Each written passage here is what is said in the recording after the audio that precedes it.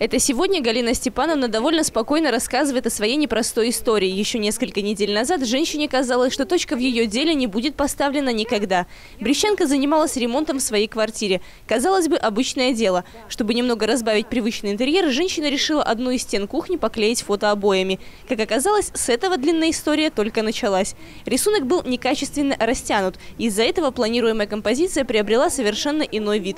Претензию Галины Степановны фирма-производитель не приняла. Да, дело тянулось очень долго. Мы прошли инстанции и судебные э, заседания первой инстанции, и потом областная, областная коллегия нас судила.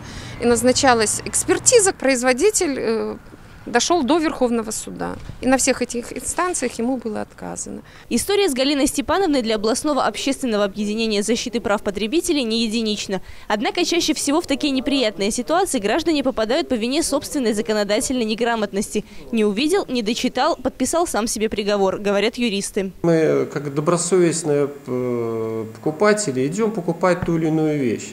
И просто э, при покупке той или иной вещи э, нам не сообщают, либо не сообщают, не доводят полную информацию нам о товаре, о том, который мы хотим приобрести. Потому что продавцы заинтересованы в чем? Продать товар, а покупатели он же не понимает, что, допустим, покупает ту или иную вещь, э, много есть причин, которые нужно до покупки исследовать, то есть информацию получить. Он задает те или иные вопросы продавцу. Продавец говорит, да, этот товар вам подходит, все, а последующем приезжает домой, когда начинает читать инструкцию эксплуатации, выясняется, что данный товар ему совершенно не подходит. Решить проблему Галины Степановны удалось еще и потому, что производитель все же реальный, и его торговые точки имеют юридический адрес. Другое дело, когда покупка была совершена через интернет-магазин, что сегодня популярно особенно. Это хороший способ сэкономить время, найти что-то такое, чего не найдешь на прилавках традиционных магазинов, да и цена бывает на порядок ниже. Однако нередко за маской добродушных продавцов скрываются желающие поживиться чужим бюджетом.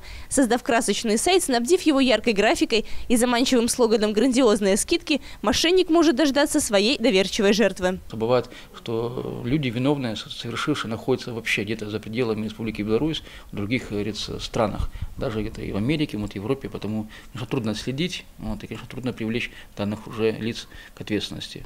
Вот.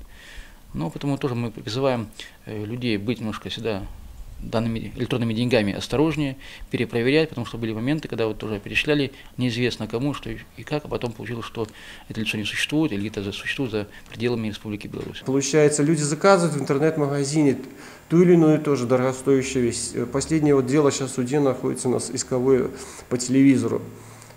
Человек заказал телевизор, в итоге он э, поступил, э, привез какой-то курьер непонятно кто, Проверить его, естественно, на улице ему передали данный телевизор, проверить его нельзя было, привез э, домой, достал нерабочий.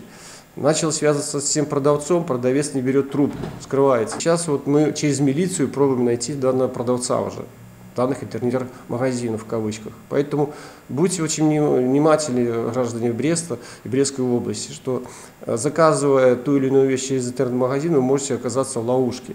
Добраться до истины и доказать. Сегодня это в большинстве ситуаций реально, если производитель или поставщик действительно нарушил договорные обязательства. Просто не забывая об обязанностях, покупатель должен знать свои права, уметь защитить их. В этом теперь уверена и Галина Степановна.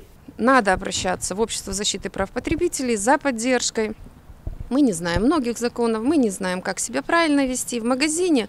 Нас красиво как-то так нас могут обвести и поставить нас в положение, что мы виновны, э, хотя это далеко не всегда на самом деле так. И поэтому консультации все здесь совершенно бесплатно в обществе защиты, но это очень сильная моральная поддержка, э, юридическая помощь и ну, как бы как бы так, руки не надо опускать, надо бороться. Анастасия Ноздрин, Плотницкая, Григорий Пекарский, Дмитрий Лазарчук, телекомпания Буктова.